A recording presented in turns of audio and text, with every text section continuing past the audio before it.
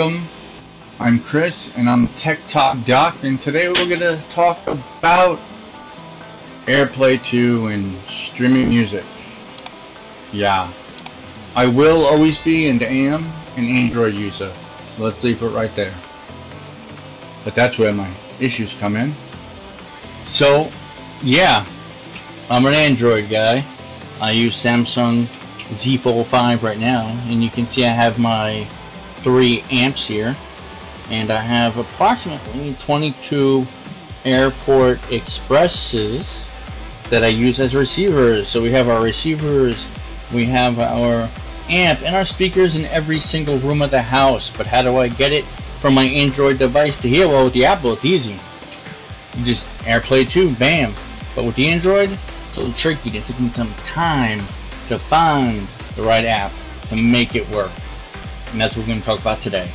But I, I can't tell you how frustrating it's been, you know, having events, having, you know, entertaining, and having to actually pick up an iPhone or use the iPad that is on my wall. So I have strategically placed in certain areas of the home iPads. But it becomes a little tedious when I'm switching between the iPhone and the iPad and the Android phone. So, what did I do? Well, I've been waiting for a long time to get that perfect app that did it all. Well, I did find the perfect app for Windows, and if you're looking for a Windows app that will play multi-zone, multi-room um, audio through the AirPlay 2, what you need to download is TuneBlade. Pay for the full version. I'm going to tell you right now, it is great.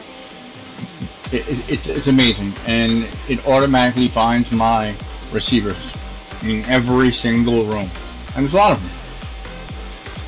And um, so my Android comes and my Samsung. So what am I using and is it working? Yes, it's working. And it's called Air Music.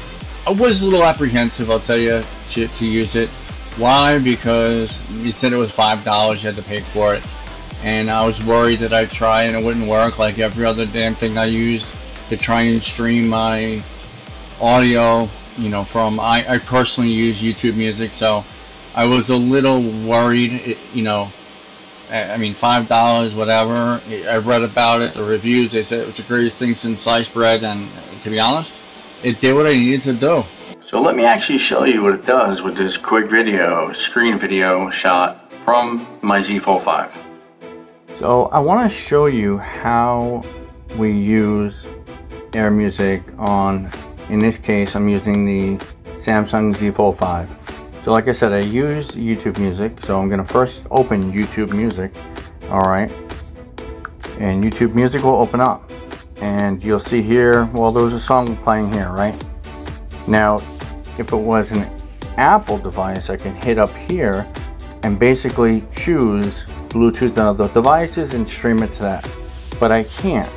So what I do now in this case, and I'll have to lower the volume, but as I hit play, all right,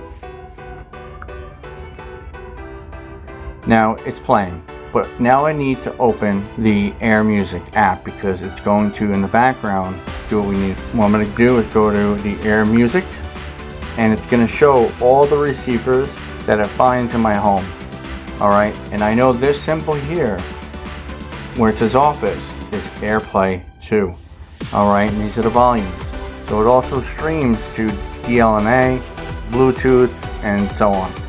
So right now the receivers it's picking up is the office, the den, guest bathroom, primary bedroom, Bose, Onelink, which interestingly is a combo um, carbon monoxide smoke detector with also uh, Alexa and Google in it.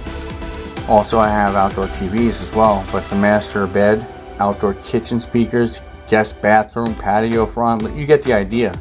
So these are all the different zones of audio I have in my home. And I just have to hit one of these. So let me go ahead and hit uh, Office just to show you. Start recording your casting? Sure. Go back to AirMusic where we're at and we are playing through the office speaker now. You can see here this is where you control your audio. Alright. You could also go on to settings, you could rename office, additional delay and so on.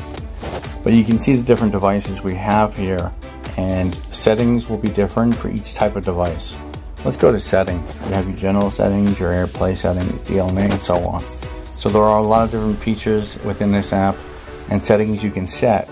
Under general settings, you can see and pretty self-explanatory.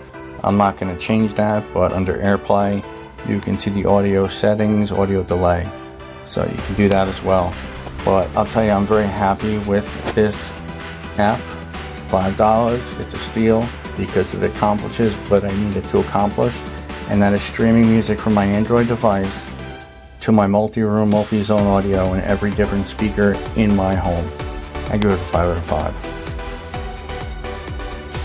It, it did. It, it did exactly what my iPhone did, my iPad, and I this and I that. It sent the music to my speakers from my receiver.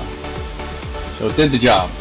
So I give it um, 5 out of 5 stars recommend spending that five dollars um, it also uses DLNA Bluetooth all of it okay but I specifically needed it for the AirPlay 2 and it works seamlessly amazing no hiccups no nothing so go get it if you're an Android user if not really I don't know what else is out there if you know what else is out there let me know in the comments if I'm missing something let me know if you haven't yet subscribed please subscribe please hit the like button if you like it. If you don't like it, well, we'll make the next one better for you.